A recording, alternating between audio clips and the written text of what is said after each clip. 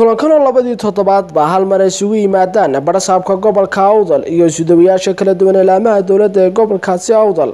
Ayaa kulankan waxaa barasaabka ku helinayay. Barasaab ku-xigeenka gobolka awdal cabdiraxmaan nuur sugaal iyo xogayaha fulinta ee gobolkaasi awdal mustafa duudu kulankan isugu yimaadaan barasaabka gobolka awdal iyo sudawayaasha kala duwan ilaamaha dowladda ayaa inta badan waxaa lagu lafaguraa arrimaha ka soo cusboonaada gobolka awdal iyo si meel looga soo wada jeesan lahaa in laga wada shaqeeyo horumarka gobolkaasi awdal kulanka toddobaadleh ay maanta yeesheen. Barasaabka gobolka awdal iyo isdawayaasha kala duwan ilaamaha dowladda ayaa ahaa mid ka duwan kulanadii hore.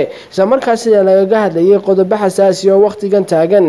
Kadib markuu kulankaasi soo dhammaaday ayaa wax warbaahinta la hadlay islamarkaasina. Warmuntiyeedka jidhkaasi ka soo baxay akhriyay barasaabka gobolka awdal cabdiraxmaan axmed cali waxaana hadaladiisii ka mid ahaa. Maanta oo ay taariikhdu tahay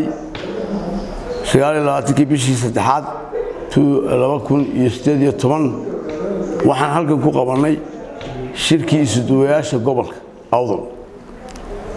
Oo aan u qabtay anigu waxaana ka soo baxay warmartiyeed dhowr qodoba. Bilaabo ka koowaad mushkiladaha xagga nadaafadda iyo sidii wax looga qaban lahaa oon kala tashan doono mas'uuliyiinta degmada maadaama uu soo dhow yahay wakhti roobaadkii. Waa qodob koowaad. Laba in dhammaan n g o iyo cid kastoo shaqo ka qabanaysa inay soo maraan wasaaradda la leeyihiin lan ministerka u yihiin iyo maamulka gobolka. Horaan u sheegnay taa haddaan faahfaahiyo hay'adaha ama inju ahaadaan ama international ahaadaan hay'addii gobolka doonaysa inay wax ka qabato wax kastaba ha ahaatee waxay marka hore iska soo riboodgaranaysa soo gelaysa xarunta gobolka. Annagaa u dirayna markaa halka haddii emergency yihiinna annagaa tilmaamayna. Haddii ay yihiin cid wasaarad ku xidhan yihiin oo lan minister u yihiinna wasaaraddoodii baan u dirayna. Laakiin layskama soo gelayo lagamana bixi karo degmooyinkeedana looma bixi karo annaga oo aan nagu fasaxno mooyaane.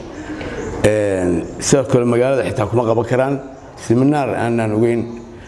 Ool waxaanuna siinaynaa hoteelada iyo dadka hoolasha leh shirarka lagu qabto miitan hooliska inaanu waraaqaan waa siin doonaa. Seminaar iyo shir aanaan ogeyn lama qaban karo. Saasaan ku siinaynaa ayagana ku wargelinaynaa.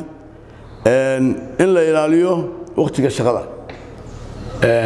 Waa dee shaqaalay xukumaan istudayaashu anaguna waa ka badbaannahay wakhtiga shaqada in la ilaaliyo. Oo xafiiskiisa nin walba laga helo wakhtigii shaqada la soo gelaya